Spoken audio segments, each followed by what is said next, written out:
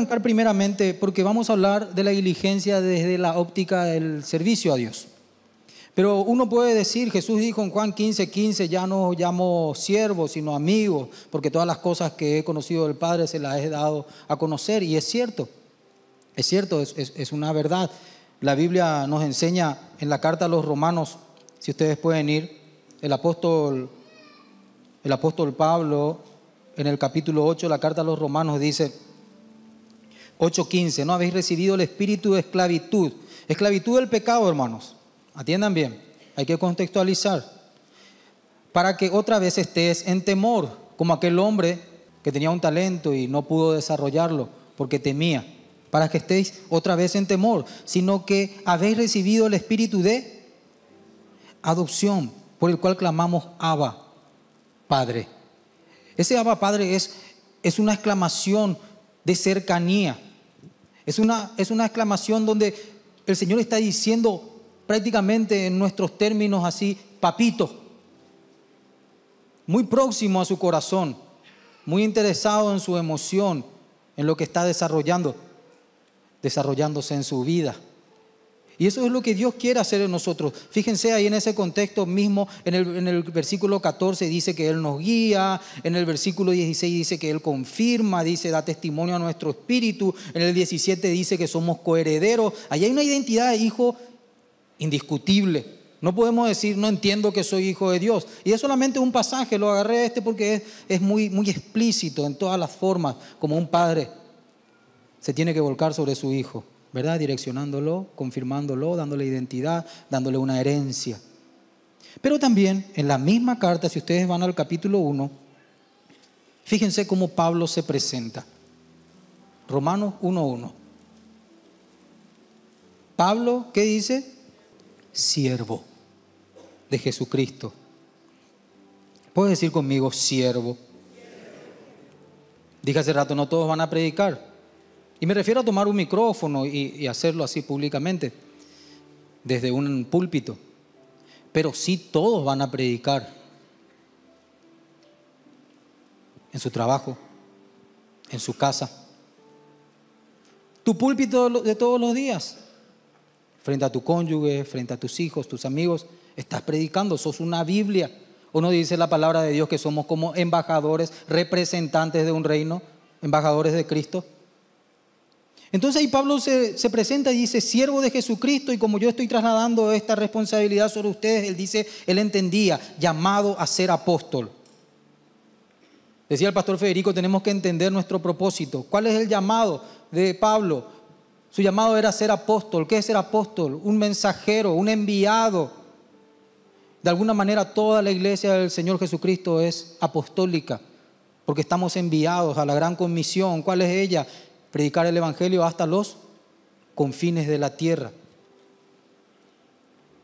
En ese contexto quiero que nos ubiquemos y, podamos analizar lo que, lo que es ser diligente. El apóstol Pedro era un hombre que verdaderamente laburó mucho en su momento. Él tiró las redes un tiempo hasta el anochecer, ustedes saben, y, y el Señor le, dijo para que lo lanzase o lanzase una vez más las redes. Y Pedro le decía, Señor, hemos pescado toda la noche, no hemos sacado nada. Este hombre verdaderamente trabajaba, era, pudiéramos decir, diligente. Este varón escribe en su segunda carta, es muy lindo acá lo que acontece. En su segunda carta, en el capítulo 2, en el versículo 9,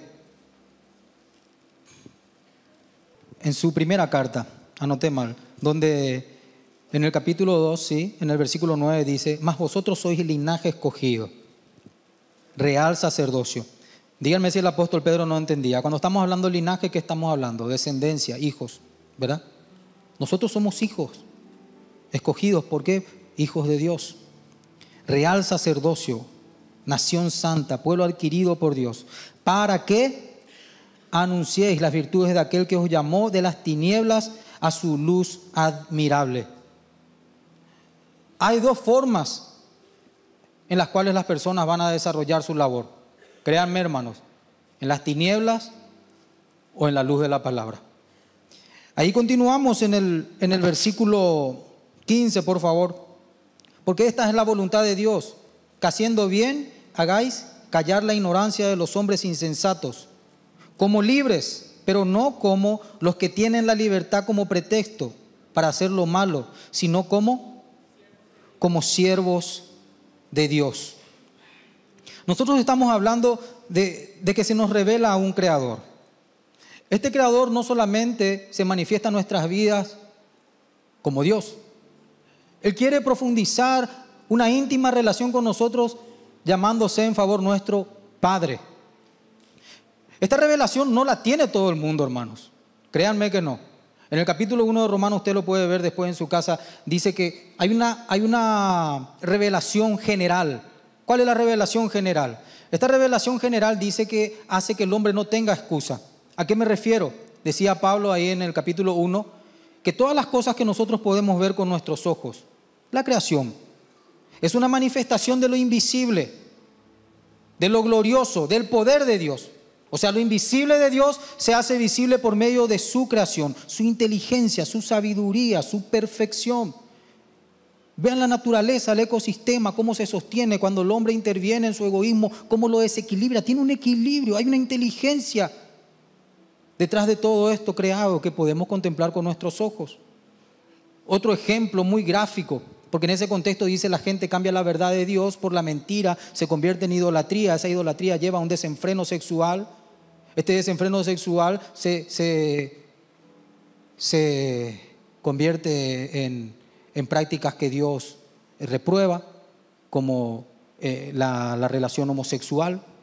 Y ustedes pueden ver al Creador diciendo ese tipo de relación no es la que yo diseñé. ¿Por qué? Porque todo lo que tiene vida, ¿qué hace? Genera vida. ¿Sí o no? Cuando alguien está vivo, siendo chico, crece. Entonces, el trabajo de Dios diligente hace que esa vida siga desarrollándose. ¿Por medio de qué? De la unión del óvulo con el espermatozoide, o sea, una mujer con un hombre. Pero los hombres han peleado contra la revelación de Dios. Esa es la revelación general. Y aún en medio de la iglesia que tenemos una revelación especial, que es de que Jesús es Dios, nos peleamos contra las verdades y los principios bíblicos tratando de decir, está bien. Y no podemos, hermanos, llamar a lo bueno malo, ni a lo malo bueno. Porque la palabra dice que va a venir calamidad sobre aquellos que tal hagan. Yo quiero que hagamos una diferencia acá. Dice que este es un siervo un siervo que hace todo según la voluntad de Dios para acallar la ignorancia de la gente insensata, no convierte en libertinaje. Hay una, hay una diligencia acá.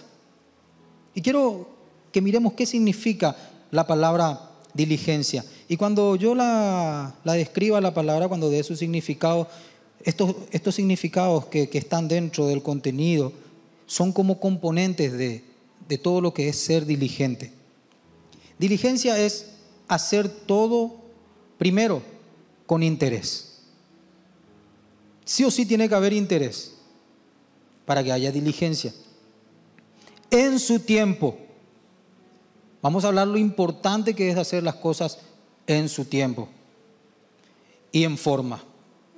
¿Qué quiere decir? Eficazmente. Es una capacidad de alcanzar objetivos. Básicamente es hacer bien lo que se hace. Entonces, Diligencia es hacer todo con interés en su tiempo y en forma. La gente ha confundido la diligencia con el afán. Entonces quiero hablar un poquitito, aunque no se va a tratar del afán, porque vamos a hacer un contraste entre la diligencia y la negligencia. Quiero hablar un poquitito del afán, para que no nos encontremos de repente en una postura de nuestro corazón afanoso, creyendo que estamos siendo diligentes. ¿Me están siguiendo, hermanos? Amén. Afán. Aunque sí, en el afán también hay interés, porque si no hay interés, por nada vas a estar afanado, ¿verdad? Uno se afana por algo que verdaderamente le interesa. La labor que se hace allí se hace con excesiva carga emocional. Lo que desemboca al final en una confusión. ¿Qué estoy diciendo? aun cuando uno pueda estar haciendo con mucho interés una buena labor, siente que no lo hace bien o que no lo logrará y no lo puede disfrutar. Cuando no lo puedes, cuando no estás disfrutando lo que estás desarrollando, estás afanado, estás con una carga que Dios no te está mandando a que pongas sobre tus espaldas. Entonces el afán, aunque hay interés, viene con preocupación y no hay paz. En la palabra de Dios, nosotros vamos a encontrar ejemplos donde podemos ver perfectamente cómo los hijos de Dios sí pueden caer en, en negligencia. Había un varón que se llamaba David, ¿quién no lo conoce? Varón conforme al corazón de Dios. Cuando Jesús caminaba por las calles de Jerusalén, clamaban a él diciéndole, Jesús, hijo de David, ¿Qué quiere decir eso? Había una promesa, un linaje. De su descendencia iba a venir el Mesías. En síntesis, un varón muy especial. Pero este varón, en un momento dado de su vida, él cae en pecado. ¿Quién me puede decir cuál fue el pecado de David? No me digan que no conocen, no.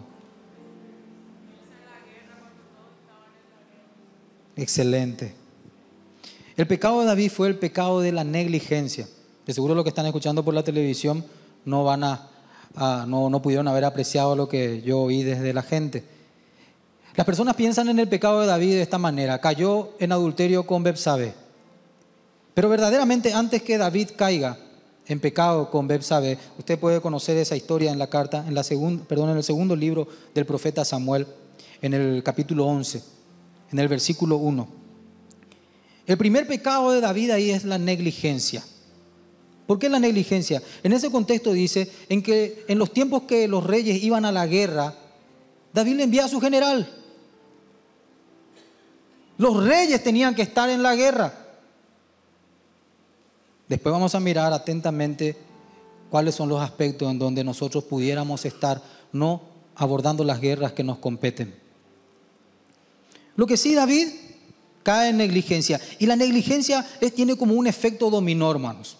¿Vieron así? Yo cuando, era chiquito así poníamos el dominó uno al lado del otro y, golpeabas el primero y pac, pac, pac, pac, pac, pac, iban cayendo las piezas y era muy divertido. Pero formando figuritas y todo. Pero acá lo que David formó no es una figurita. Él formó un camino que iba en declive, un camino que no solamente trajo mal sobre su vida, trajo mal sobre su casa, sobre sus hijos, sobre su reino. Fíjense, negligencia, en el tiempo que los reyes tenían que estar en la guerra. El siguiente, ¡pah! cae la primera ficha. El siguiente pecado, ¿cuál es? David entra en su concupiscencia. Él mira a una mujer que no era su esposa y la codicia en su corazón. Y ya los pensamientos comienzan a, llevarte hacia todo tipo de pecado. Eso sucede en el ocio. Ustedes tienen que ver que, la mayoría de los lugares donde se hace rehabilitación con, personas que tienen adicción a estupefacientes, estos lugares, ¿qué hacen? Le dan actividades, labores dentro de la organización, porque el ocio hace que comiencen a pensar hacia esas, hacia esas sustancias, porque justamente afectan el cerebro. David estaba en ocio. Era el caldo de cultivo perfecto para que sus concupiscencias comiencen a tomar cancha en su corazón. Entonces él cae en adulterio. ¿Vieron? Negligencia, paz, codicia, paz, adulterio. Después del adulterio cae en hipocresía. Le manda a traer al esposo de aquella mujer. Y le pregunta hipócritamente, ¿cómo están las tropas? ¿Qué le importaba a las tropas a él? ¿Cómo está eh, eh, el avance en las batallas? Él único que quería era esconder aquel pecado. Y todo comenzaba con negligencia, síganme. Y después, cuando este hombre, porque él hasta lo llegó a emborrachar y, no se iba a su casa, se quedaba ahí enfrente del, de la puerta del, rey. ¿Cómo yo voy a ir a estar con mi mujer? Le aplicó Urias Teo. estando allá mis soldados y los generales en el campo de batalla, un hombre fiel. La negligencia destruye a hombres fieles. Entonces, ¿qué hace? ¡Pah! Cae la siguiente ficha, homicidio. Escribe una carta, pónganle donde la lucha es más fuerte. Y cuando están ahí peleando, imagínense lo maquiavélico, abandónenlo para que muera por manos del enemigo. Es perverso. Todo comenzaba en un tiempo donde tenía que estar en la guerra. Después de eso, cuando cae en ese homicidio, él cae en orgullo. ¿Por qué orgullo? Viene Natán, el profeta. La hago corta. Le dice, rey, porque el rey tenía que juzgar todo. Rey, había un hombre muy rico que tenía muchísimo ganado. Enfrente de su casa vivía un hombre muy pobre que tenía solamente una ovejita. Esta ovejita prácticamente ya era como una mascota, dormía con ellos. La amaban a la ovejita esta. Lo que pasa es que este hombre rico tiene un visitante. Y en vez de él de matar uno de sus ganados para darle de comer a su visita, él va y le saca esta una ovejita que tenía este hombre para darle de comer a su visitante. ¿Qué hacemos, rey? Le decía Natán. Y David se levanta Vive Jehová, que el que tal hizo merece, ¿qué merece? Morir, la muerte. Y Natán le dice, capé, debo veaina. ¿Sí? Tú eres ese rey. Él emitió juicio sobre su propia vida. Pero en la misericordia de Dios, aunque merecía muerte, Dios no le da muerte. Viene la disciplina, ese es, ese es otro punto. ¿Verdad? Eh, compartí esta enseñanza en, Radio Vedira y alguno puso así en, en, los mensajes de texto y, preguntaba, si nos arrepentimos termina, termina el castigo y, cosas así. Hay un salmo, creo que era el, Salmo 103, eh, decía, o 103, 10, no me acuerdo bien, pero que es 100. Del 100 al 50 tenés para buscar. Decía, no nos ha pagado Dios conforme a nuestros pecados. Y verdaderamente David no le pagó conforme a su pecado, merecía la muerte. Pero había un plan del linaje en relación al linaje de David. Porque lo dejó vivir. Sí, las disciplinas. Por supuesto que un padre que ama a su hijo disciplina. Dice Hebreos capítulo 12, azota a todo aquel que es hijo. Porque somos muchas veces duros, hermanos. Y David fue duro con Dios, porque le tuvo en poco a Dios. Esa fue la palabra que le daba Natán cuando confrontaba su pecado. ¿Por qué tuviste en poco a Dios? Cuando entramos en negligencia en nuestro corazón es porque le estamos teniendo en poco a Dios. Porque estábamos diciendo, Pablo, siervo de más que vencedores, siervo del pastor Emilio, siervo de... ¿De quién era Pablo? De Jesucristo. Ustedes no nos están sirviendo a mí. Por supuesto que hay una organización. Servimos a Cristo, al único Dios verdadero, al Dios de Israel, al Dios de Abraham, de Isaac, de Jacob. Ese es nuestro Dios, a Él servimos, a Él rendimos cuenta. Y en contraste, en contrapartida, quiero agarrarlo a José el ejemplo de diligencia. Bueno, alguno puede decir que contó de balde su, su, sueño a sus hermanos. No vamos a analizar eso, ese es otro punto. Lo que sí, él desde que fue vendido y fue llevado como esclavo, él solamente hizo una cosa, hacer bien. Y en medio de su labor, cuando era esclavo de Potifar, tanto prosperaba todo lo que José hacía, que Potifar le puso sobre toda su casa. Era un general egipcio Potifar. Y la mujer de Potifar dice que día a día venía y, lo quería llevar a la cama a él. Y él se resistía.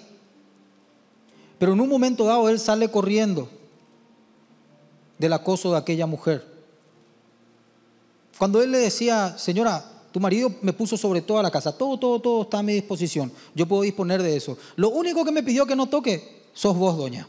A vos yo no te puedo tocar.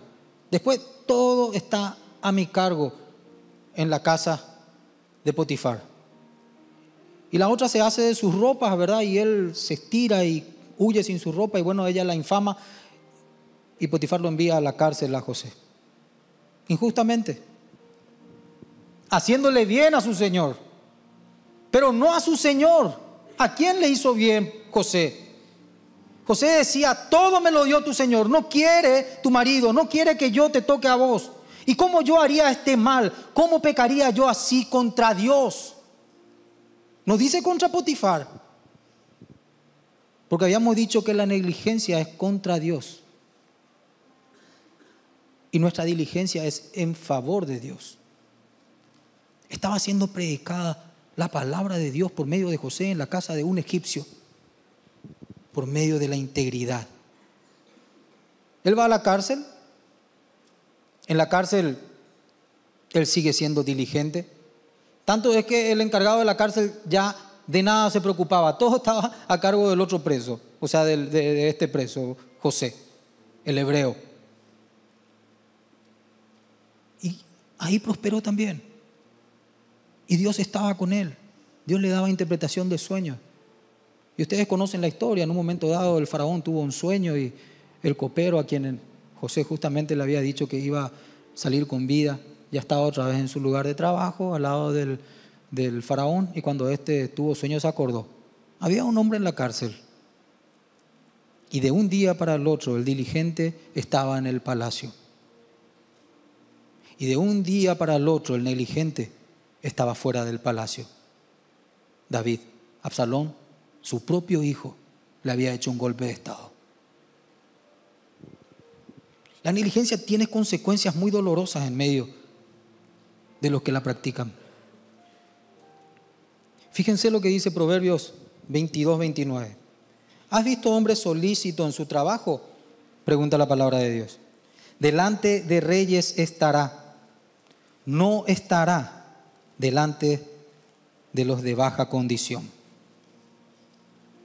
El hombre solícito José, de un día para el otro, era segundo tras el faraón gobernante de aquella región poderosa del mundo, Egipto. Por favor, estén atentos a lo que les voy a decir. Porque si uno practica diligencia o negligencia, son como semillas que van a, en el día de mañana, a cosechar el fruto. Ejemplo, tu trabajo. Si sos diligente vas a prosperar. La Biblia nos pone a nosotros los cristianos como cabestros, así para sujetar, con lo que se le sujeta a los caballos. ¿Cuál es un cabestro en relación a la prosperidad? No te apresures a ser rico. Vas a cometer errores, va a haber pecado. Dios sí prospera. Pero la prosperidad es una condición del alma. Porque puedes tener mucho dinero, pero ese dinero puede ser muy perjudicial para vos, para tu hijo, para todos los que te rodean. Si no prosperaste en tu alma, en el proceso en el cual fuiste justamente prosperando en bienes. Por eso que todos estos bingos y toda esta historia lo único que hacen, fíjense hermanos, las personas que ganan esto se emborrachan, compran vehículos caros, chocan, matan gente, despilfarran, porque no saben cómo llegó esos bienes hasta sus manos, no lo trabajó y en el proceso no trabajó su alma. No hay diligencia detrás de ese dinero. Y ese dinero en vez de ser una bendición se convierte en una maldición para él y para las pobres personas que estaban en la parada del colectivo. No sé si me siguen con el ejemplo.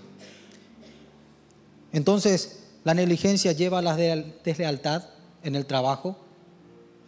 Cuando de repente tenés un horario que cumplir y no estás trabajando en ese horario, eso es una deslealtad, porque se te está pagando por esas ocho horas.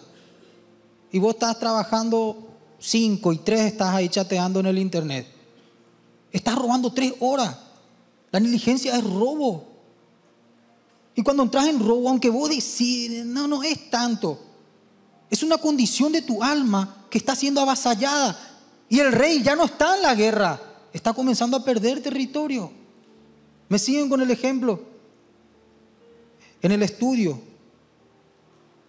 Si tenés diligencia en tu estudio, vas a tener amor al conocimiento. Dice la palabra de Dios que Jehová no se agrada del alma que no tiene ciencia. La ignorancia no está de acuerdo con el Dios de la Biblia, por lo menos. Entonces, en la negligencia, ¿qué cosechamos? El amor al cartón. Un título. Gente que quiere colgar un título, pero no sabe nada de su profesión. Gente mediocre. Y ya lo podemos ver, hermanos. Luchen contra esto en sus chicos. Nuestros chicos estudian para pasar. Famoso eso, estudia para pasar, pase. Y después le preguntas algo de su examen. No me acuerdo. No hay amor a la ciencia, a la ciencia, digo bien. Eso es negligencia. Y se sufren las consecuencias más adelante, hermanos. Créanme, yo tuve mucha negligencia en ese aspecto. Y cuando me desperté, para la gloria de Dios, comencé a estudiar y era todo de nuevo. Ya tenía que estar con una profesión desarrollándose hace como por lo menos 3, 4 años y yo estaba iniciando recién mi carrera universitaria. Se sufre en la negligencia del estudio. En las amistades, Proverbio 17, 17 dice que hay amigos que son más cercanos que un hermano en los tiempos de angustia. Si sos diligente en escoger tus amistades, ah, estos van a ser como, como alianza, van a ser como una cobertura para tu vida. A mí me, emocionó, ayer estuvimos cantando con, con Rebequita, mi hija, esta música El Rey te mandó a llamar, donde narra la ocasión donde David pregunta, ¿hay alguien que sobrevivió de la casa de Saúl? Y uno de los hijos de Jonatán, su amigo, su amigo, con quien había hecho pacto, se llamaba Mefibosé. Y él lo manda a llamar. Todo lo que era tuyo yo te restituyo. Vas a comer en la mesa del rey. Vas a vestir las ropas del rey. Esas son las cosas lindas que tenía David. Por eso el Señor dice de él mismo, conforme a mi corazón. Él aplicaba la gracia. Él era fiel al pacto, a la promesa. Hay que escoger bien los amigos. Porque estos o te bendicen o te maldicen. Gente interesada, mala influencia. El mal consejero, hermanos, es carcoma para el hueso. Sean sabios en relación y diligentes en relación a las amistades. Estamos avanzando. Empezamos de las cositas más, vamos a decir, no son triviales, porque el hombre que no provee para lo suyo es peor que un incrédulo, dice la palabra de Dios. Con su conducta niega la fe. Entonces, trabajo, estudios, amistades, matrimonio. Este sí que es un punto, hermano, que me puedo quedar la siguiente media hora hablando al respecto. El matrimonio, ya no hay cortejo, ya no hay compromiso, el pacto está totalmente olvidado. En medio de nuestra sociedad me refiero. No hay diligencia, hermanos. Se ve la negligencia. Hay decepción en el corazón tanto de hombres como de mujeres casados. Hay infidelidad. Se materializa la negligencia con infidelidad. Como si fuese que en la otra cama vaya a encontrar cosa distinta. Sí, va a encontrar cosa distinta. Una extraña. Pero es negligencia en su corazón que puede estar empezando de aquellas pequeñas, entre comillas, pequeñas cosas del trabajo, las amistades, y desencadena también en una negligencia en su vida matrimonial. Malaquías hace, el profeta Malaquías, un profeta del Antiguo Testamento en el capítulo 2.14, hace una advertencia muy fuerte eh, al hombre en relación de abandonar a la mujer de su juventud, a la mujer de su pacto. Después de esto, en los hijos. Diligencia en los hijos. ¿Saben cómo se traduce? Buena autoestima. No es vanidad. Hay mucha diferencia entre ser vanidoso, altanero, soberbio, y tener autoestima sana. Ahí hay un trabajo, hermanos, de formar jóvenes, hijos así. Estos jóvenes, estos hijos son bendición para la sociedad. Pero yo veo que en medio nuestro, y, hablo y hago un llamado para aquellos que están compartiendo la predicación por medio de la televisión, veo que los chicos están en la promiscuidad, pornografía. ¿Te interesás en abrir el teléfono de tu hijo y cuando ves que hay una imagen pornográfica, le reventás la cara, le decís grosería o te acercás y le enseñás lo bendito que es el sexo. Es un regalo del cielo. ¿Por qué permitimos que el mundo lo ensucie? Y lo empujamos más y más a la promiscuidad. ¿Por qué? Porque como lo ve sucio, entonces no lo puede compartir. Pero cuando lo hablamos de manera sana, de manera natural, porque es natural, es un deseo natural que tiene que existir entre el hombre y la mujer, por medio del cual Dios estableció que, que la raza humana continúe. Chicos, en las drogas. Y vemos padres que de repente fueron negligentes en acercarse al corazón de, de sus hijos, ¿verdad? Y cuando tiene que comenzar a practicar esa diligencia ya es para acompañarlo en el reformatorio o en alguna en un lugar de recuperación. Por eso decíamos que la diligencia es hacer todo en su tiempo también y en su forma. Trabajo, estudio, amistad, matrimonio, hijos, en la fe. ¿Estás siendo diligente o negligente en tu fe? Si dejas de congregarte, ya me imagino cómo está el resto de tus días. Congregarse no es suficiente. Dejaste de leer la Biblia y de orar. Sí o sí hay pecado en el corazón de esa clase de gente. Sí o sí. Hay pecado así, como dos socios, se va con el pecado. La persona que no tiene una vida de oración, y no es una regla así un 2 más 2, 4, porque también estaban los fariseos, oh Señor, te alabo, te doy gracias, porque no soy como estos publicanos, yo diezmo, yo hago tal y tal cosa, no. Ese dice la palabra que oraba para él mismo nomás. Estoy hablando de alguien que va a la presencia del Señor y ora. Habla con Dios.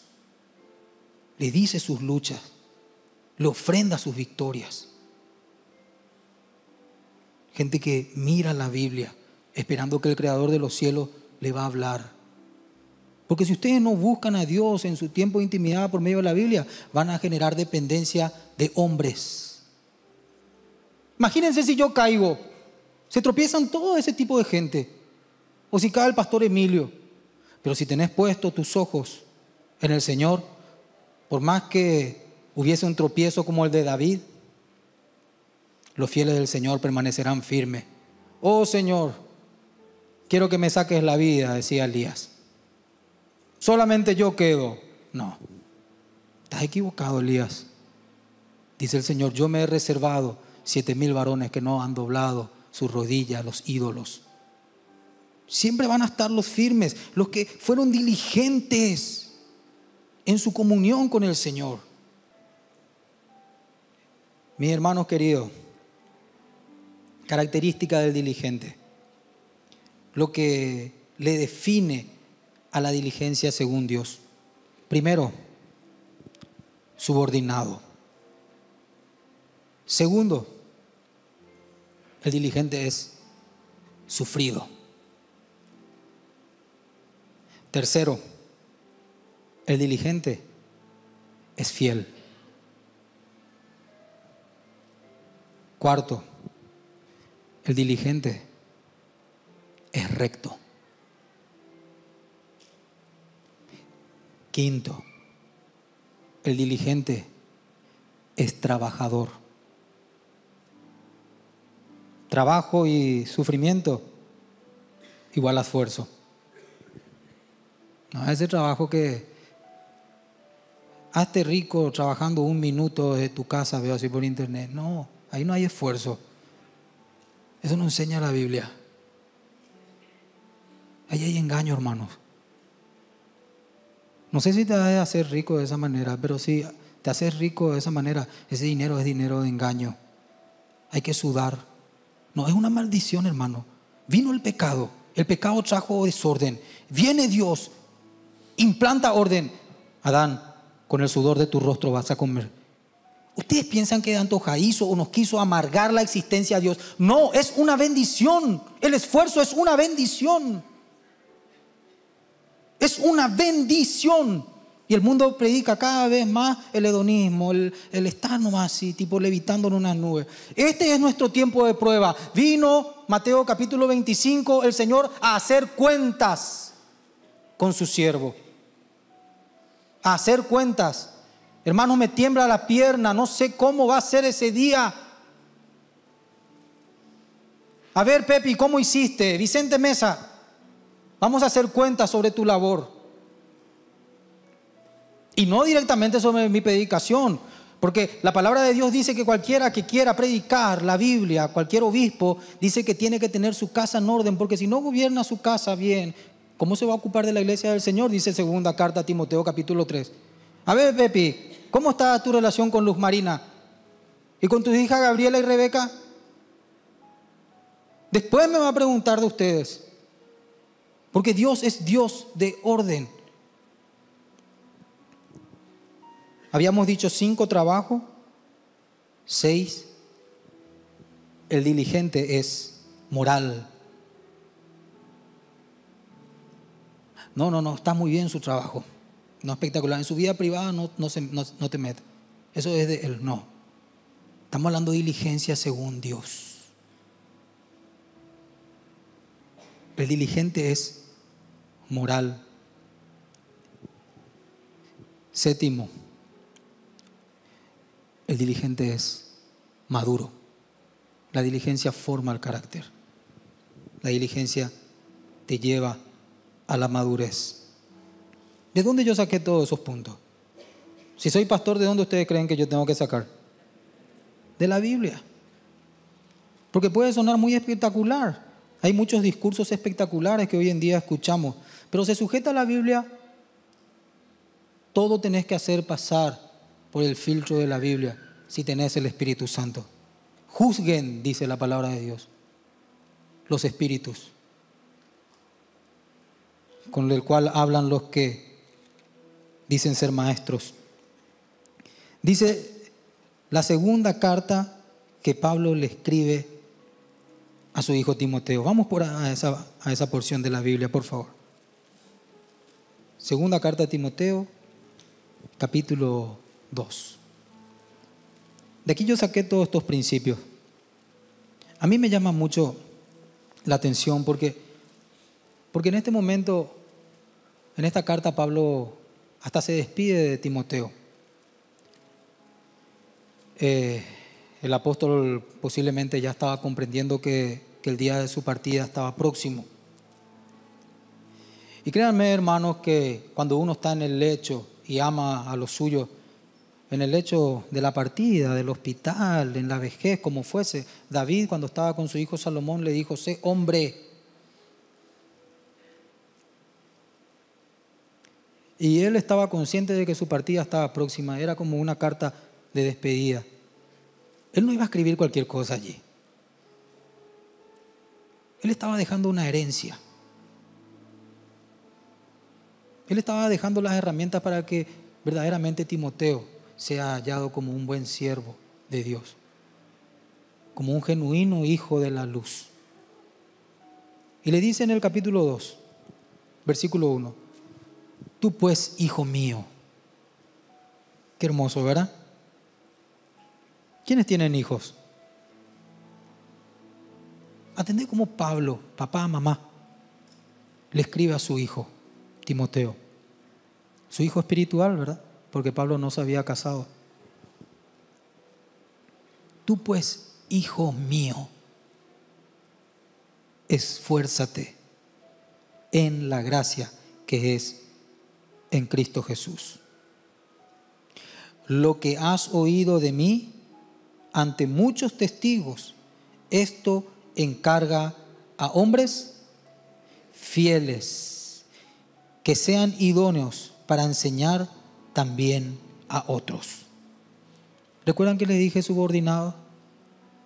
Jesús, ¿saben qué dijo?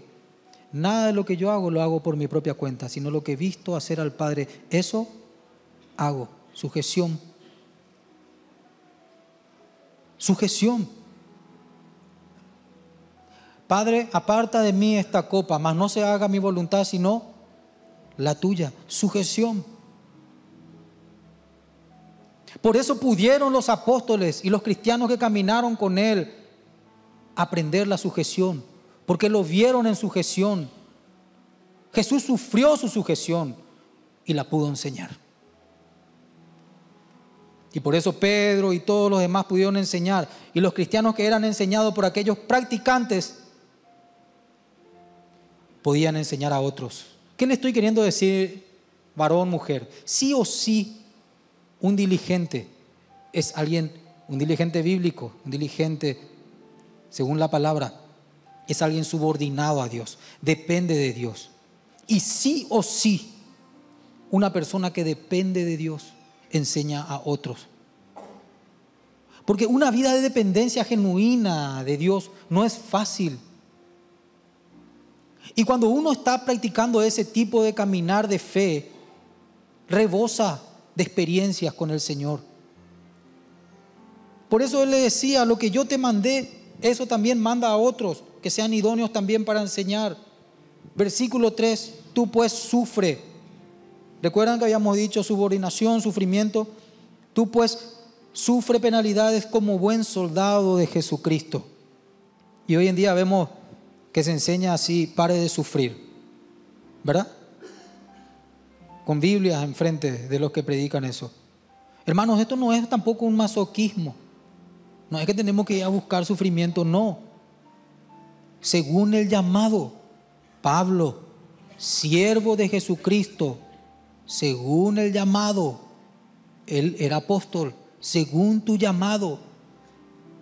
No es que vos te vas a ir a buscar que alguien te abofetee y que te persiga, no. Según tu llamado.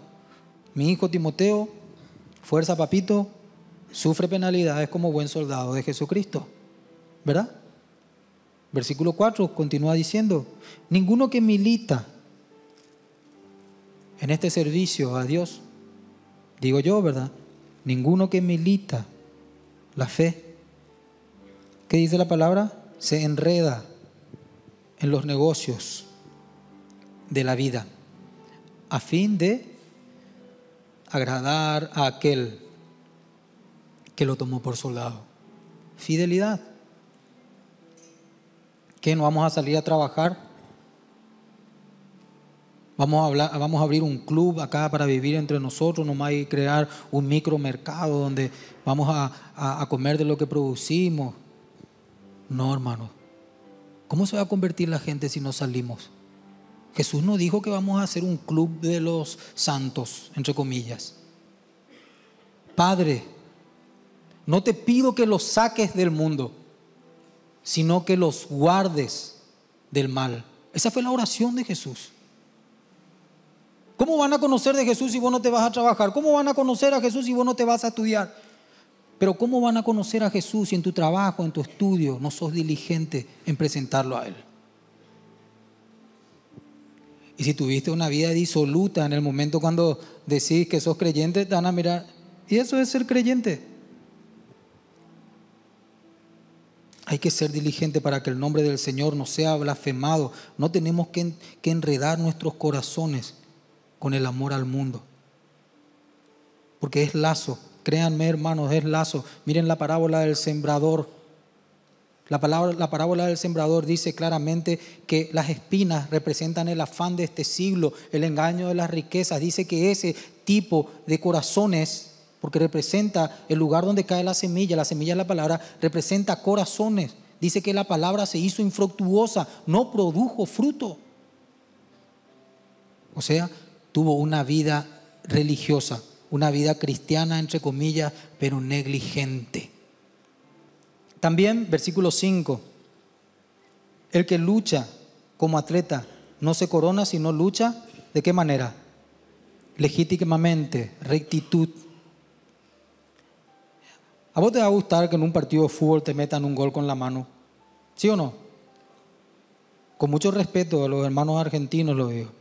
Para, este ya se, yo, yo he visto el Mundial del 86, muchos no se van a acordar. Pero Maradona con una picardía, ¿verdad? ¡Tic! Gol.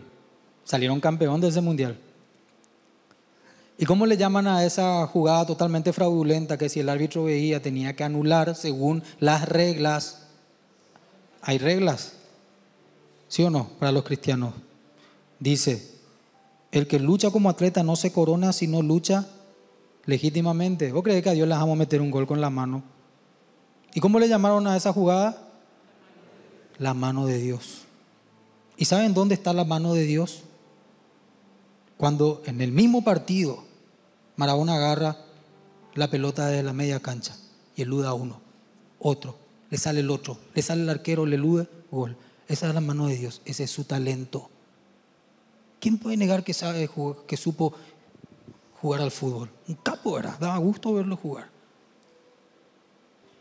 Entonces, el que es un diligente según la Biblia, no, es echadito, hermano. Es recto. Continúa diciendo, el labrador que participa del fruto debe trabajar primero. Eso es rectitud, trabajo, considerar lo que digo, le dice a su hijo. Y el Señor te dé, ¿qué cosa? Entendimiento en todo. Yo quiero ser entendido, hermanos. Sinceramente, se lo digo, quiero entender, quiero comprender lo que Dios está trayendo a nuestras vidas. Este momento es un momento de mucho privilegio para nosotros. La palabra de Dios está siendo expuesta, hemos orado, hemos alabado a Dios, nuestro corazón está quietado para recibir esa semilla. Hermanos, tiene que haber bendito fruto. Tienen que venir tiempos diferentes en medio nuestro, en medio de nuestra familia y por medio de nosotros esperanza para nuestra sociedad. Porque Dios promete que nos lleva de victoria en victoria. Él promete que nos lleva de gloria en gloria. Eso es lo que dice la bendita palabra de Dios. Fíjense conmigo, por favor, el versículo 15. Procurad con diligencia presentarte a Dios aprobado, como obrero, dice, ¿verdad? Que no tiene de qué avergonzarse. ¿Recuerdan a Adán y a Eva? Cuando se avergonzaron, ¿qué hicieron? Cubrieron. ¿Saben a qué se refiere acá? La moralidad. ¿Recuerdan a David? ¿Cómo había quedado en pecado? ¿Y cómo trae al esposo de la mujer ajena para tratar de cubrir vergüenza? Pero hermanos, con mucho temor de Dios, soy hombre.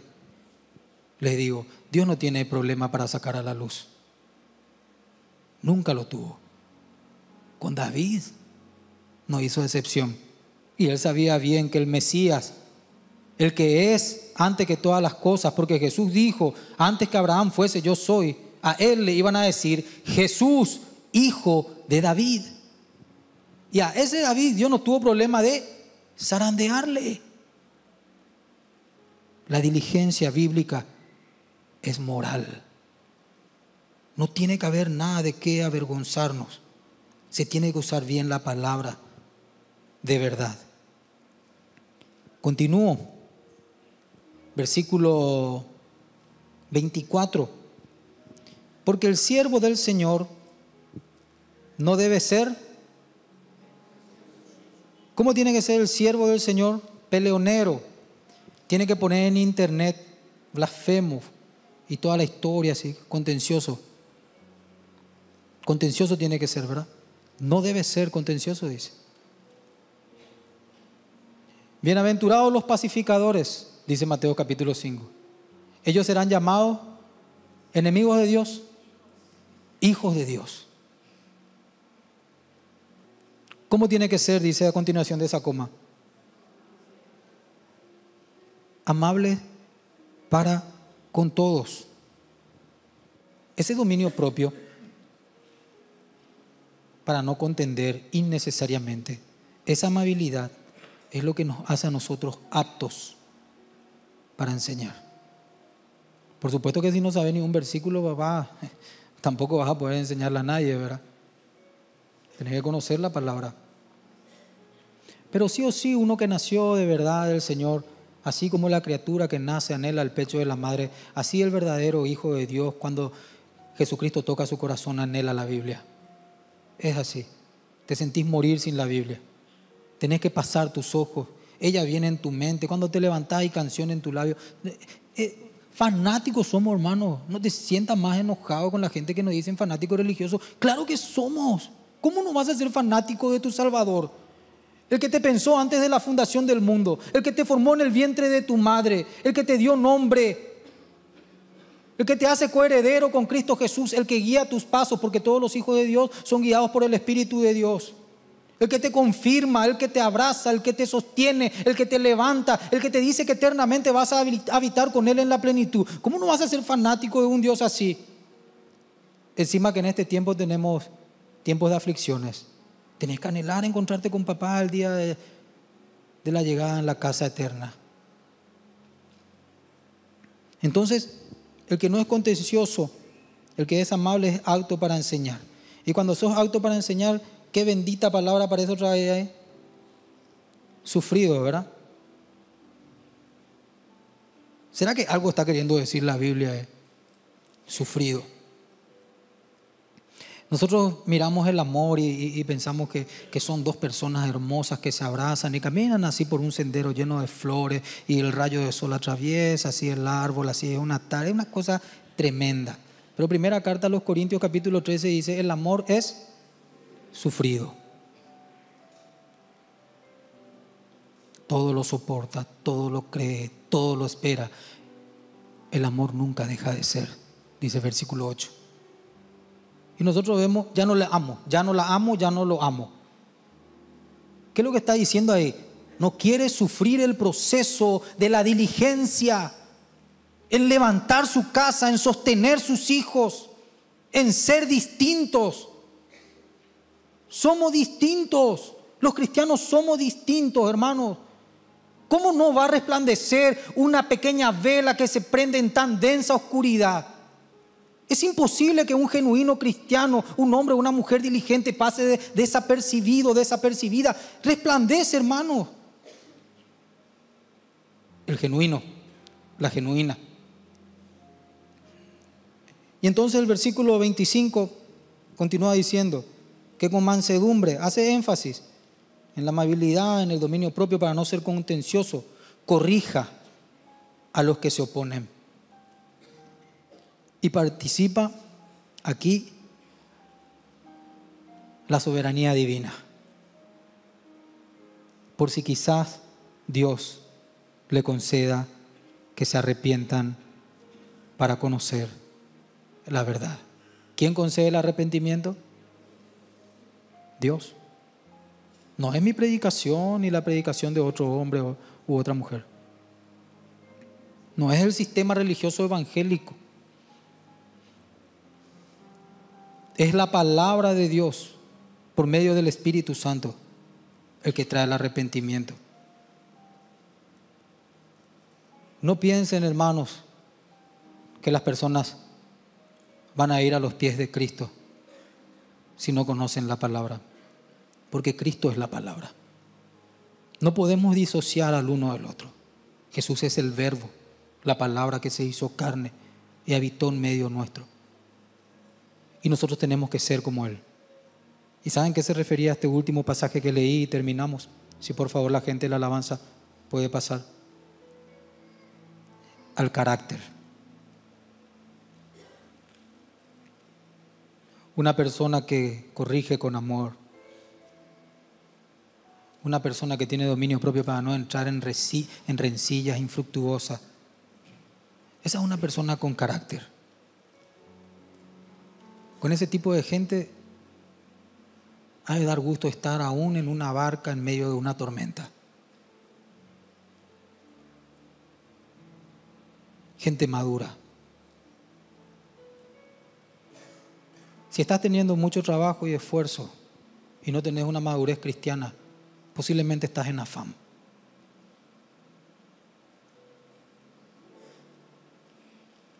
Pero si estás en una labor genuina y sincera para con tu Señor, para con tu Dios, créeme que vas a llegar a buen puerto. Y no es porque yo lo diga, es porque Él lo dijo. Cuando sus discípulos subieron a la barca, Él dijo, vamos al otro lado. Y aunque se levantaron las aguas y los vientos, El que dijo, vamos al otro lado, es el que te llama. Y si Él dijo que vamos a llegar a la meta, corre, hacelo rectamente, hacelo apasionado, hacelo en su tiempo, hacelo con gozo. Porque la clave del diligente espiritual es el gozo. Hacelo agradecido de saberte llamado, de saberte llamada. No va a haber otra vida para que puedas expresar diligencia. No va a haber otra oportunidad para que puedas sufrir por el Señor. Esta es tu única vida. Está establecido que el hombre viva una vez, muera y después hay un juicio. Esta es tu oportunidad. Esta es tu única oportunidad para decir, Jesús me rescató. De Él soy y a Él sirvo. Amén, hermanos. Nos ponemos en pie, por favor.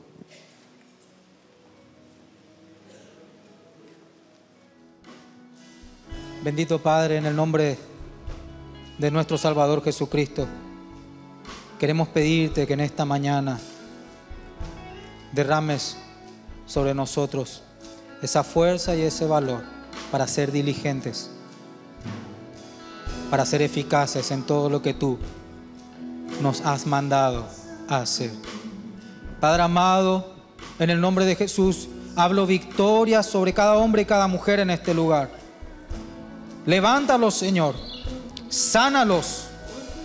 Límpialos. En el nombre de Jesús. Para tu gloria, Padre, oramos. Para tu gloria. En el nombre de Jesús. Amén.